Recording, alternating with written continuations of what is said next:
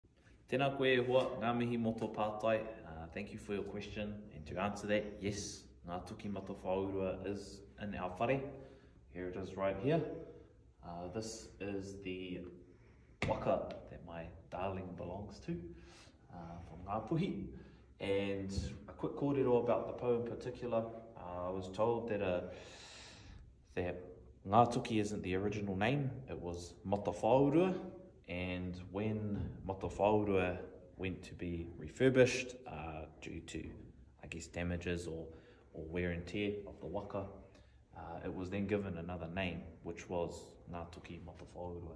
If there are any Ngāpuhi whānau within our, our community that know of that story and are in a bit more clarity, please let us know. Uh, so yeah, it's represented in the two toki here.